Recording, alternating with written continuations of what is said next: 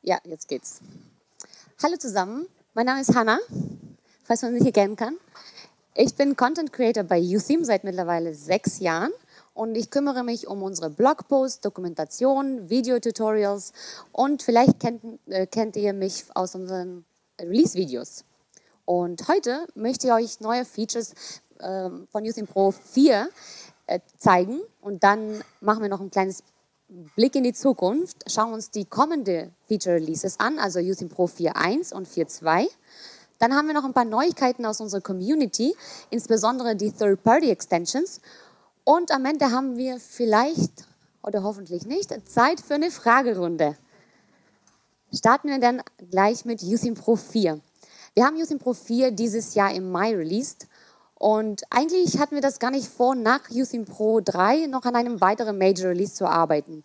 Aber es gab so viele Wünsche letztes Jahr auf dem Joomla Day, dass äh, wir doch damit angefangen haben.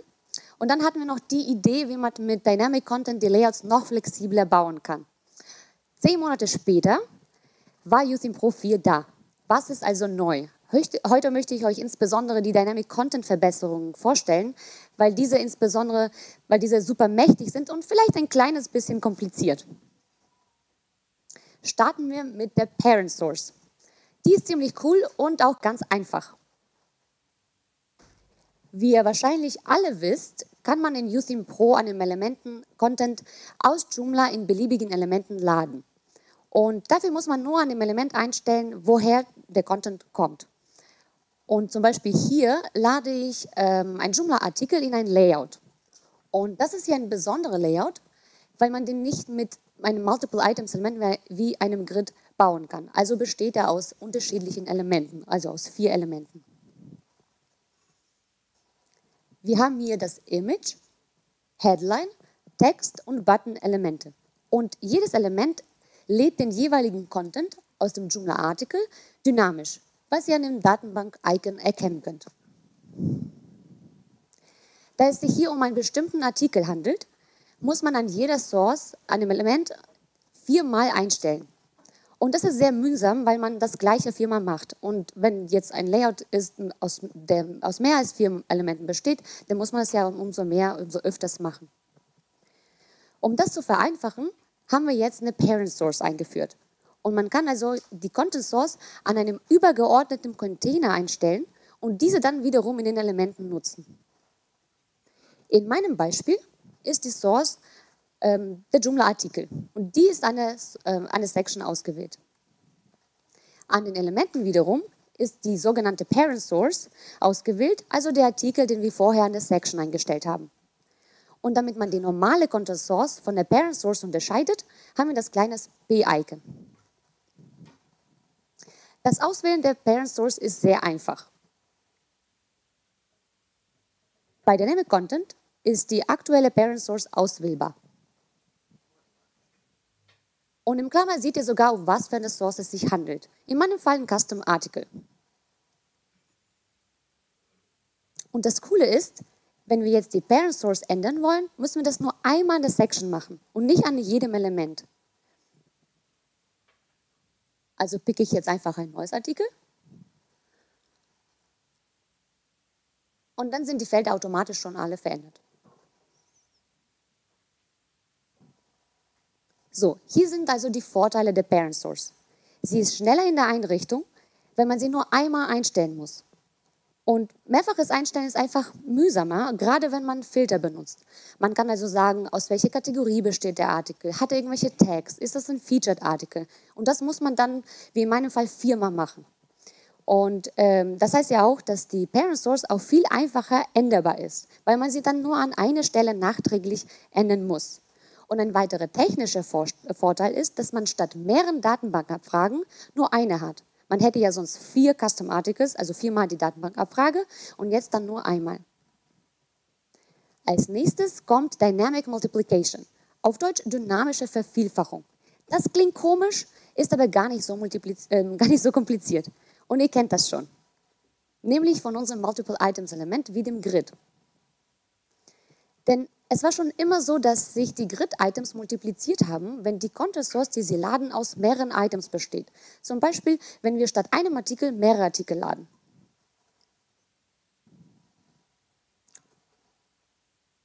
Und um zu zeigen, dass ähm, es sich um eine Multiple Item Source handelt, haben wir ein neues n-Icon eingeführt. Und n steht dabei für eine natürliche Zahl. Und das Dynamic Content Icon steht hier in Klammern, weil äh, die Source nicht an dem Element selbst, sondern an, dem, an dessen Item eingestellt ist. Wie man das hier sehen kann.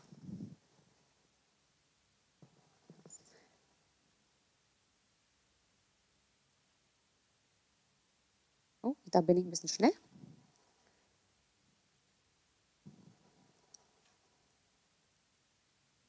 Genau. Das Item multipliziert sich so oft, wie es Artikel in der Content Source gibt. Zum Beispiel, wenn ich in einem Kategorie Blog acht Artikel habe, dann wird sich das Item achtmal multiplizieren. So, bis jetzt nichts Neues. Und wir haben jetzt das Multiplizieren auch für Sections, Elemente selbst, Columns und Rows freigeschaltet. Zurück zu unserem Beispiel von vorhin. Ich habe hier eine Single Article Source an der Section ausgewählt und diese wird dann wiederum in den Elementen als Parent Source benutzt. Nun wählen wir eine Content Source aus, die statt einem Artikel mehrere Artikel lädt. Also Custom Articles.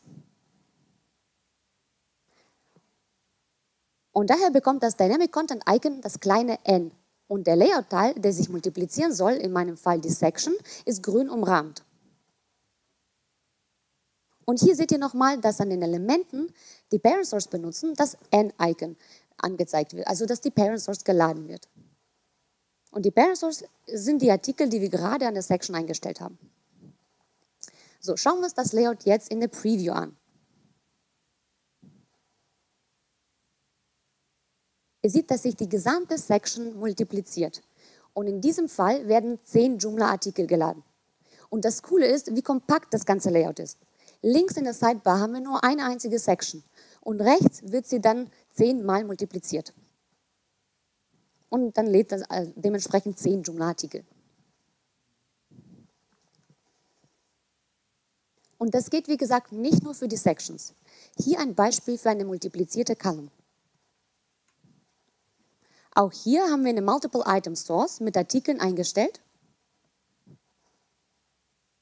Wie bei der Section haben wir das kleine N-Icon an der Column und die Column, die sich multipliziert, ist grün umrahmt. Und jetzt, wie ihr seht, werden hier vier Artikel oben geladen und dann brechen drei weitere um in die nächste Zeile. Und das ist deswegen sehr interessant, weil man damit das Grid-Element komplett umgehen kann. Insbesondere, wenn man mehr Contentfelder braucht, als das Grid-Element hat. Es gibt ja nur fünf Contentfelder bei einem Grid-Element. Title, Meta, Image, Content und Link. Genau. Wenn man aber eine weitere Sub-Headline zum Beispiel braucht, kann man das Grid-Element gar nicht mehr benutzen. Das geht jetzt aber mit Column. Fassen wir also zusammen. Hier die Vorteile der Dynamic Multiplication. Alle Layout-Elemente können jetzt multipliziert werden und nicht nur die Element-Items damit Sections, Rows, Columns und, äh, ja, und Columns, die Elemente gruppiert werden können, ähm, kann man dann sich wiederholende Teillayouts beliebig frei gestalten. Und da diese dann wieder aus beliebig vielen Contentfeldern bestehen können, können wir jetzt ähm, Multiple Items Elemente wie das Grid und Gallery umgehen. Und man ist dann nicht mehr zwingend auf die angewiesen. Und zuletzt gibt es einem viele Möglichkeiten, Layouts zu bauen. Weiter geht es mit Nested Multiple Item Sources. Und damit meinen wir das Rendern von geschachteltem Content, der aus mehreren Items besteht. Das klingt sehr kompliziert, ist es auch, aber nicht erschrecken. wir starten erstmal mit einem Beispiel. So, man kann in USIM Pro Content in Abhängigkeit zu einer anderen Content Source laden. Zum Beispiel kann man Artikel aus einer Category laden. Und hier lade ich eine Joomla-Category, in meinem Fall Action, und deren Artikel, also die Filme, in einem Layout. So, und hier sehen wir nochmal, dass an allen drei Elementen eine Content Source ausgewählt ist.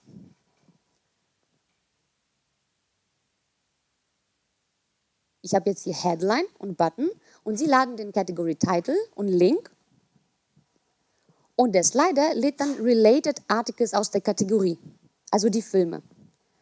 Das Problem ist, wenn ich jetzt mehrere Kategorien habe, weil ich habe ja nicht nur die Action, ich habe zum Beispiel Drama und Science Fiction, müsste ich jetzt diese Section kopieren, dann die Kategorie äh, verändern und das dann so oft, wie ich eben Kategorien habe. Und das ist nicht wirklich dynamisch. Dank der Parent Source und Dynamic Multiplication können wir die Kategorien inklusive Artikel komplett dynamisch laden. Und zwar wählen wir einfach eine Multiple Item Source, zum Beispiel mehrere Kategorien, an der Section aus.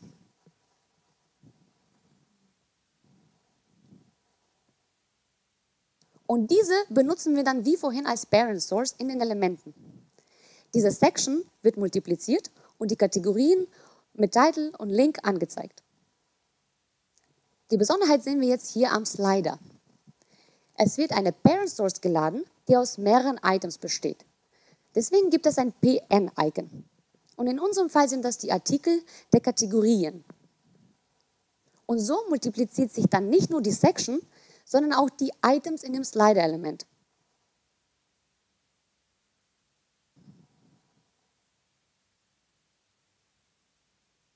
Wir iterieren also über die Kategorien, die, wir in der Section, die in der Section gerendert werden und dann über deren Artikel, die im Slider gerendert werden. Also wir sind selbst begeistert davon, weil man damit Layouts bauen kann, die man vorher gar nicht bauen konnte. Und zwar super kompakt. Ihr seht ja schon wieder, wir haben nur eine einzige Section. Und rechts laden wir, ich glaube, sechs Kategorien mit den Items in den Slider. Fassen wir also nochmal zusammen. Man kann jetzt über verschachtelten Content iterieren und diesen dann rendern. Und wie in unserem Beispiel können das Kategorien sein mit deren Artikel, aber auch Artikel mit den Custom-Feldern, die aus mehreren Items bestehen, zum Beispiel vom Subform-Feld. Äh, wenn ihr an das Beispiel von vorhin denkt, könnte man statt über die Kategorien zu iterieren, Artikel laden, oben in Headline und Link, und in dem Overlay-Slider können wir zum Beispiel eine Bildergalerie aus dem Subform laden. Und damit lassen sich sehr umfangreiche Layouts sehr kompakt bauen.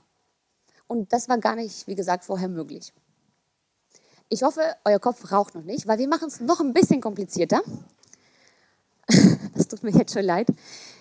Kennt ihr das Sub-Layout-Element? Ich sehe ein paar Leute nicken, das ist gut. Damit kann man nämlich Bilder-Rows beliebig tief schachteln.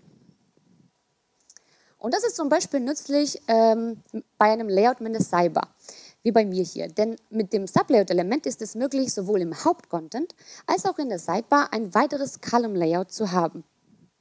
Hier zum Beispiel nutze ich das Sublayout, um die Suche und den Sign-up-Knopf nebeneinander anzuzeigen. Soweit, so gut. Bisher war das Sublayout-Element also dafür da, um tiefer zu schachteln. Aber man kann das ja auch dafür benutzen, um Rows zu gruppieren. Und das zusammen mit Dynamic Multiplication ist richtig gut. Weil jetzt, wie bei allen Elementen, können wir in dem Sublayout-Element Dynamic Content einstellen. Ist das eine Multiple Item Source, dann wird dieses Element samt dessen Content multipliziert.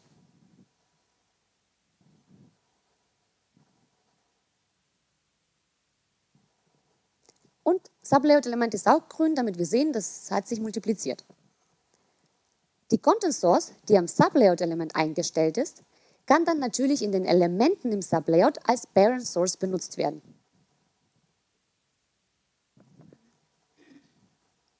Und in meinem Beispiel lade ich das Bild, den Titel und Description der Kategorien, in meinem Fall Serien, bei mir ist jede Serie eine, einzige, eine einzelne Kategorie, und dann im Grid die Artikel der Kategorien hier so die Episoden der Serie. Und so multipliziert sich dann das Sublayout mit den beiden Rows.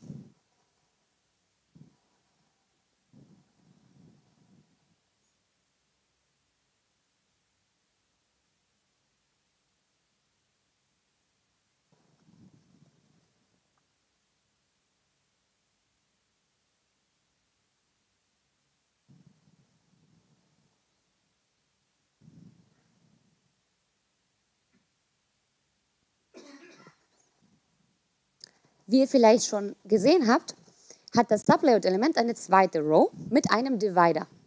Und dieser Divider multipliziert sich natürlich auch jedes Mal. Ich hoffe, man, ja, man kann es schon unten erkennen. Beim letzten Item möchte man das höchstwahrscheinlich verhindern. Wir möchten also den Divider nur rendern, wenn das nicht das letzte Item ist. Um das zu machen, nutzen wir Dynamic Conditions. An der Row mit dem Divider gehen wir zu der Dynamic Content Option und wählen dann die Parent Source aus.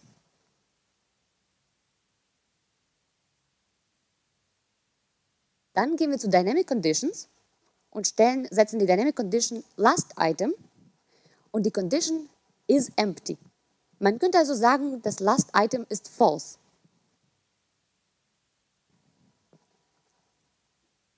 Nun wird diese Row mit dem Divider nur gerendert für alle Items, außer für das letzte Item.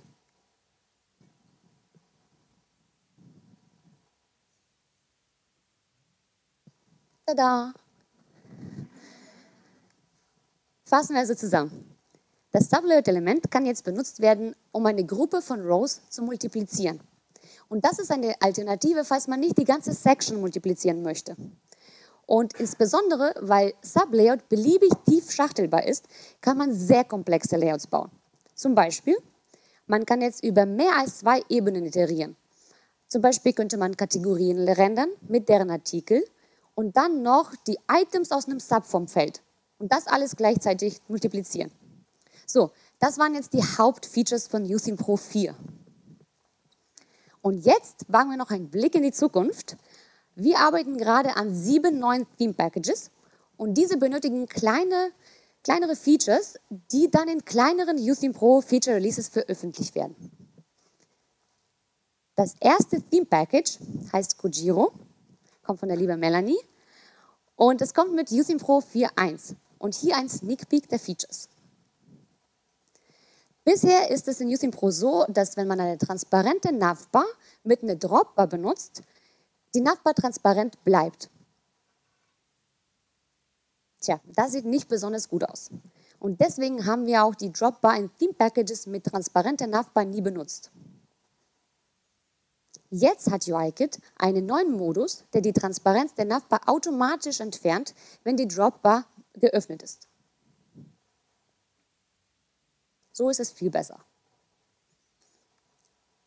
Das Grid und das Gallery-Element bekommen eine neue Parallax Justify Option. Und dieser Effekt ist nützlich, wenn die Spalten unterschiedliche Höhe haben. So wie hier.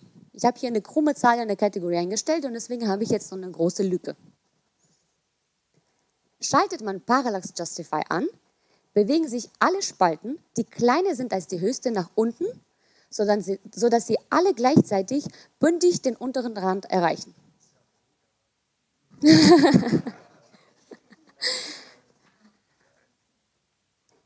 Als nächstes kann man jetzt auch das Alias-Feld von Artikel und Kategorien auch dynamisch in das Layout mappen. Und das ist besonders nützlich, wenn man so eine Art Side Navigation hat um zu bestimmten Sections zu springen.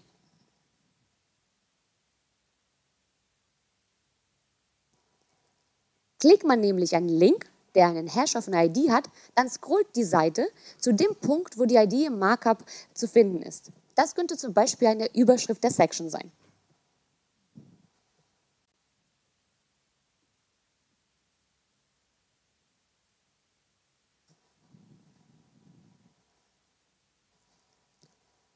An diesem Beispiel sieht man besonders schön alle Features von Youthim Pro 4.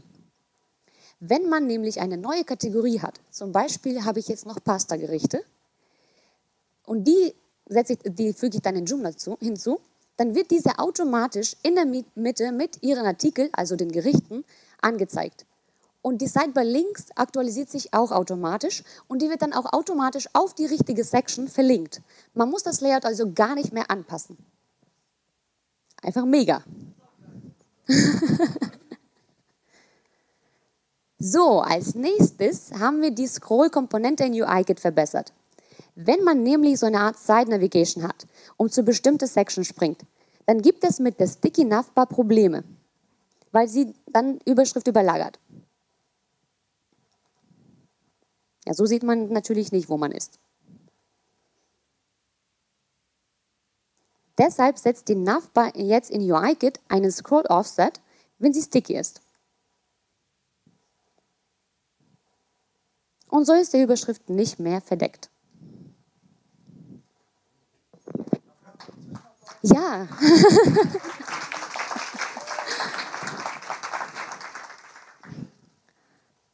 Weiter geht's. Um euch das folgende Feature zu zeigen, gehen wir auf die Artikelseite und scrollen zu Pagination. Gesundheit. Boah, ich kriege jetzt richtig Hunger. Und Durst. So, Gesundheit. Hier haben wir unten so eine klassische Previous Next Navigation. Aber das Besondere ist, dass wir auch das Intro-Image des vorherigen und des nachfolgenden Artikels laden. Und um das zu tun, nutzen wir Dynamic Content. Und nun ist es aber so, dass der erste Artikel ja keinen vorherigen hat und nur den nachfolgenden. Also ist der Dynamic Content für den vorherigen Artikel leer und die linke Column collapsed. Die rechte Column nimmt dann die volle Weite an. Weil das passiert bei den Utheme Pro ist das so, dass die Elemente nicht gerendert werden, wenn Dynamic Content leer ist, was ja auch super praktisch ist. Aber diesen Effekt möchte man in diesem Beispiel nicht, weil das Bild viel größer ist als auf den anderen Seiten. Deswegen gibt es jetzt eine neue Option, die es verhindert, dass die Column collapsed, wenn Dynamic Content leer ist. Außerdem bekommt das Masonry Grid bei den Grid- und Gallery-Elementen einen neuen Masonry-Modus Pack. Und der alte Modus sortiert die Items in ihrer natürlichen Reihenfolge in die Spalten.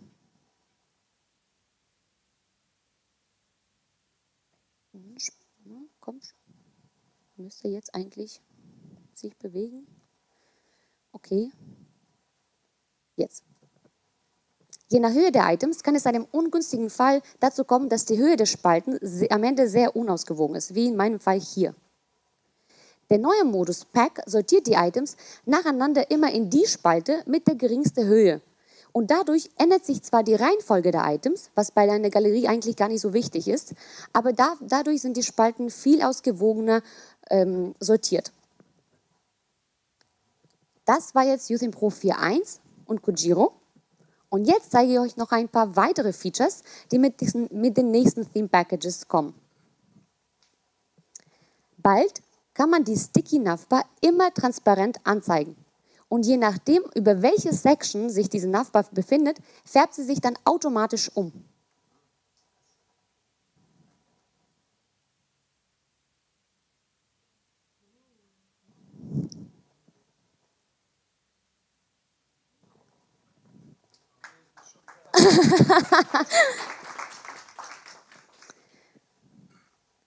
Alternativ kann man statt umfärben die Farben der Navbar mit den Farben des Hintergrundes vermischen.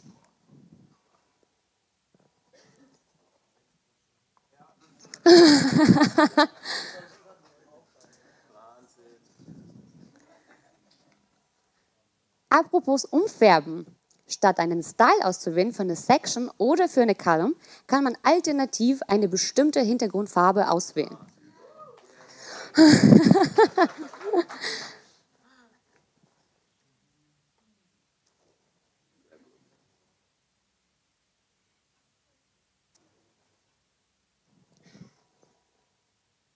Mega. Und das ist nicht alles. Wir können jetzt neu Farben in andere Farben, abhängig von der Scrollposition, umfärben. Das heißt, man kann die Hintergrundfarbe einer Section oder Column beim Scrollen in eine andere Farbe umfärben. Etwa so. Wir haben ja hier natürlich nur zwei Farben, aber kann ja auch Regenbogen machen.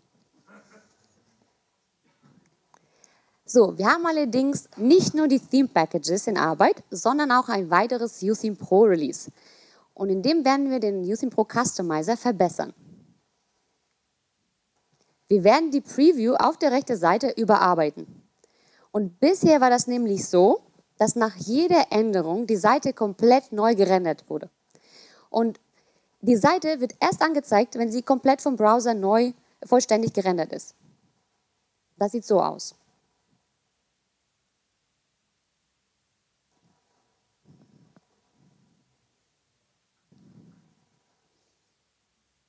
Ja, gleich sind wir fertig. Jetzt.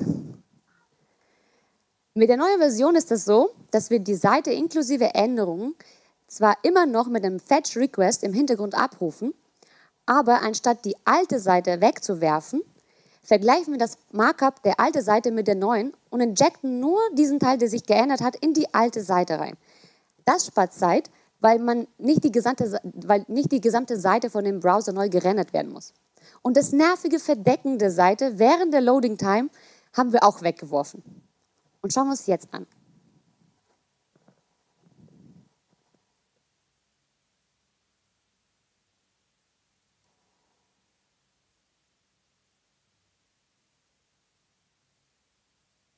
Also wir sind begeistert. Änderungen fühlen sich an, als wenn sie fast instant. Und was im Speziellen auch genervt hat, dass wenn man zum Beispiel Dynamic Content einstellt, äh, dass die Seite dann auch gerefreshed wurde, obwohl sich das Markup ja gar nicht verändert hat. Und jetzt ist das so, dass die Optionen, die das Markup nicht verändern, auch kein Refresh auslösen. Und dann müssen wir euch leider mitteilen, dass es das Page Builder Panel in UTheme Pro nicht mehr gibt. Wir haben es nämlich ausgetauscht mit dem neuen Pages Panel. Ist ja nicht nur der Name ist anders. Was heißt das überhaupt? Wenn ihr auf Pages klickt, bekommt ihr ähnlich wie bei den Templates eine Liste mit allen in UTheme Pro angelegten Pages. Und für uns sind Pages unkategorisierte Artikel in Joomla.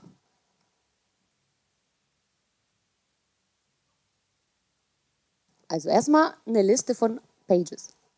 Klickt man nämlich auf eine Page, öffnet sich dann wie erwartet der Page-Builder und in der Preview rechts wird die Seite geöffnet.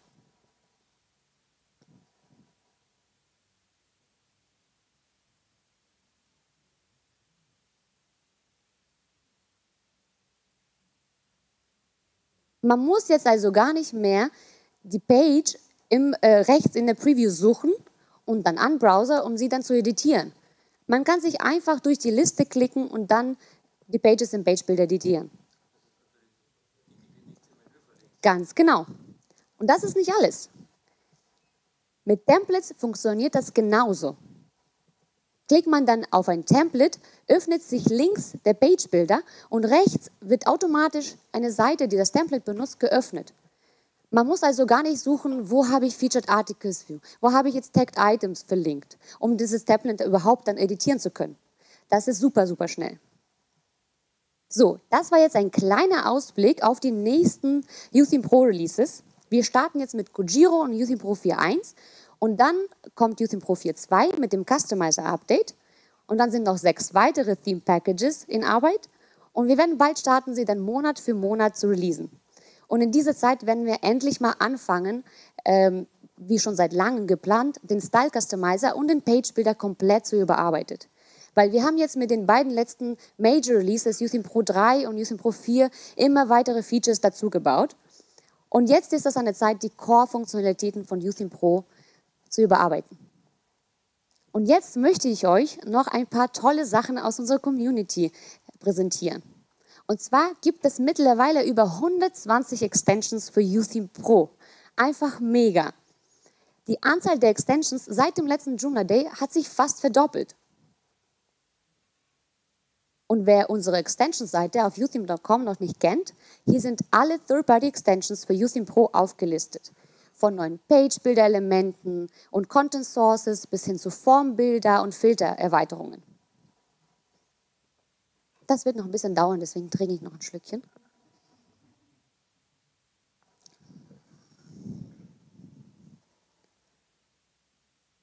Noch nicht fertig.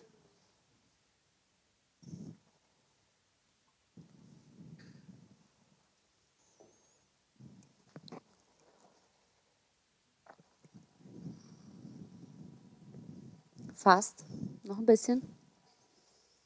Tada, jetzt sind wir fertig.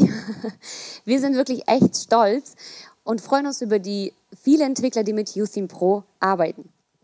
Und wir sind wirklich begeistert auch, dass, durch UTheme Pro auch einige kleine und nachhaltige Businesses entstanden sind. Und manche von denen arbeiten Vollzeit an ihren Extension. Falls ihr so eine Extension habt, was ihr für Kunden gebaut habt und ihr wollt sie zum Beispiel kostenlos der Community zur Verfügung stellen oder auch kommerziell zu, verka zu verkaufen, schreibt uns bitte eine E-Mail und dann kommt ihr auch auf die Extensions-Seite. Wir teilen eure Extensions dann auf unseren Social Media Kanälen. Ihr bekommt Zugang zu äh, unserem Developer Channel auf Discord, auf dem ihr dann bei Problemen direkt an, äh, euch an unser Team wenden könnt. Und hier informieren wir euch auch über eventuelle Änderungen in UTheme Pro, damit ihr eure Extension rechtzeitig kompatibel machen könnt.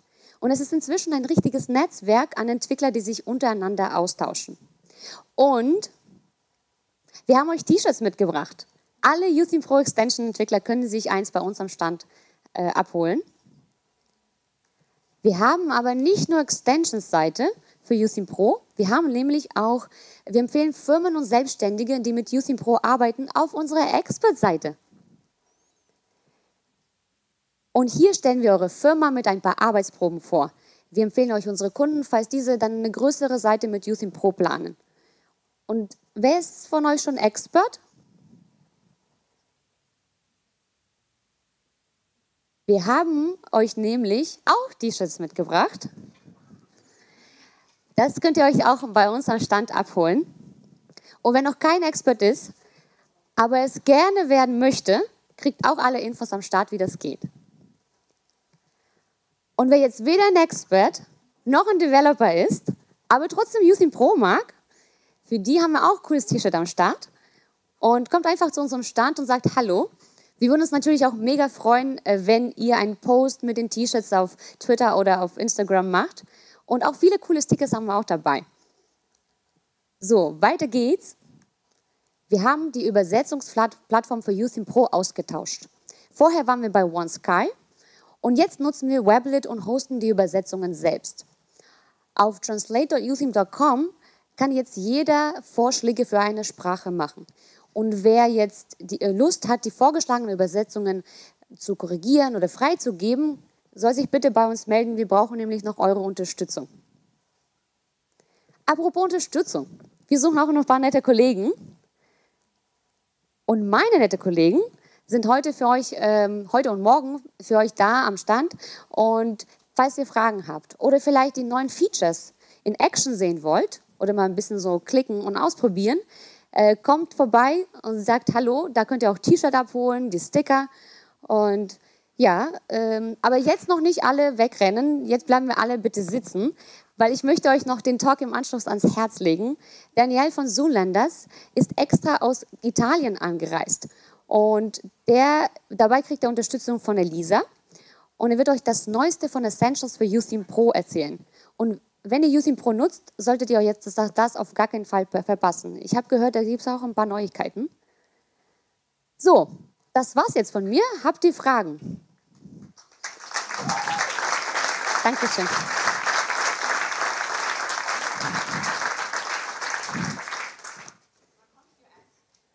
Bald.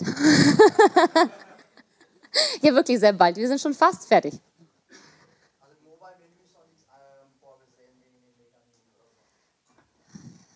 wie ist ein Mega-Menü bei Mobile? Also man könnte ja da.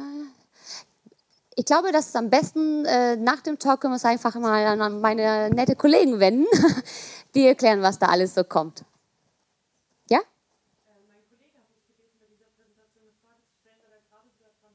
Ja.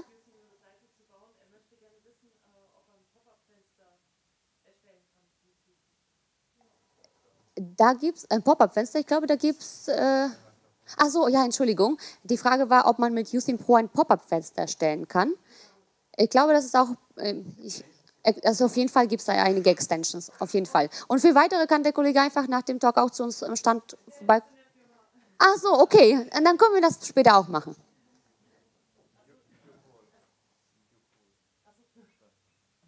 Nies, du hattest auch eine Frage? Ja.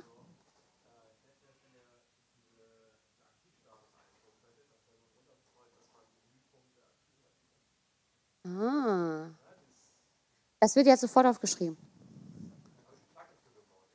Oh, dann brauchst du das nicht mehr.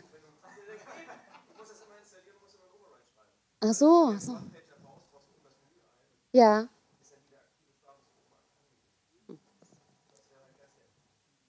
Ist schon notiert. Ja. Das sind nur die nicht kategorisierte, das sind die gleichen, die im Menü sind. Nein, das ist ja nicht, die sind ja alle einzeln, also das ist jetzt nicht in der Kategorie.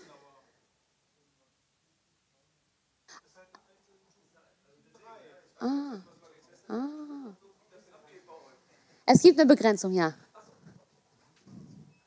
Nein, 10 nicht, ich glaube schon ein bisschen mehr. 50, 50, ja, tatsächlich 50. Ja, sonst ist das, da findet man das ja eh nicht mehr. Die ist auch schon da. Gibt es noch weitere Fragen? Soll ich noch mal äh, verschachtelten Content erzählen? Ich habe ich hab mich auch getimt. Ist die Frage nur, ob man es verstanden hat in 15 Minuten.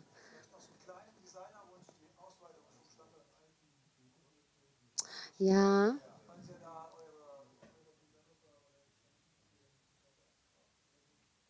Ein bisschen. Ist auch schon notiert oder wird dabei? Es wird notiert? Ja?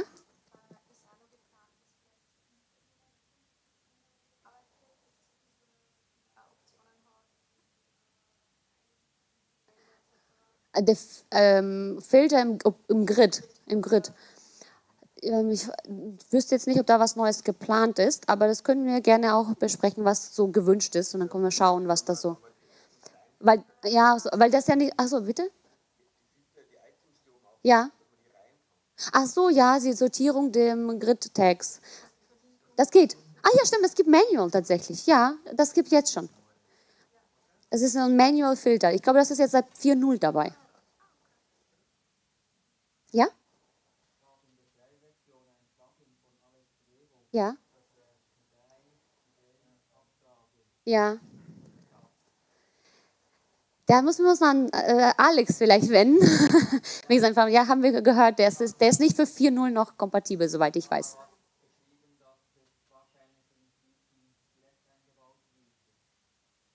Äh, ja, das wissen wir tatsächlich nicht. Das muss man echt mit, mit Alex, glaube ich. Äh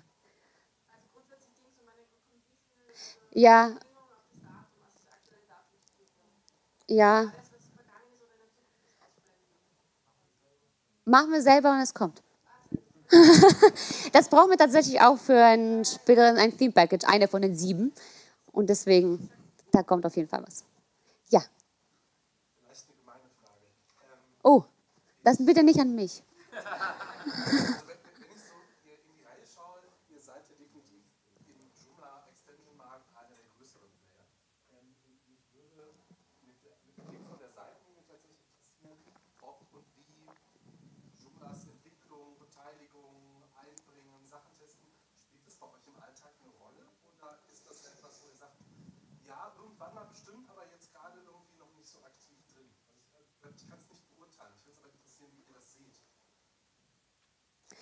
Das ist nicht die Frage an mich.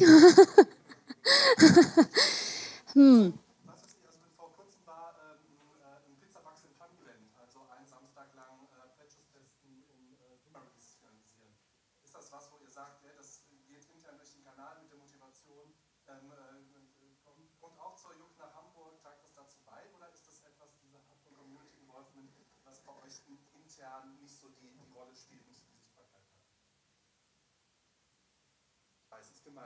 Ja.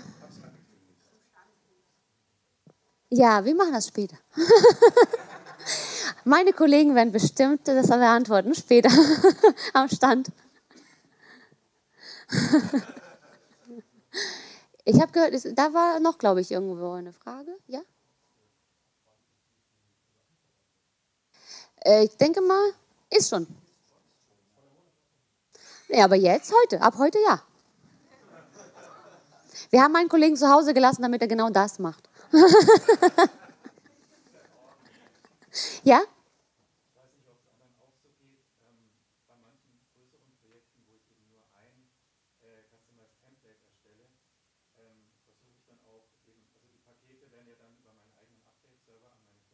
Mhm.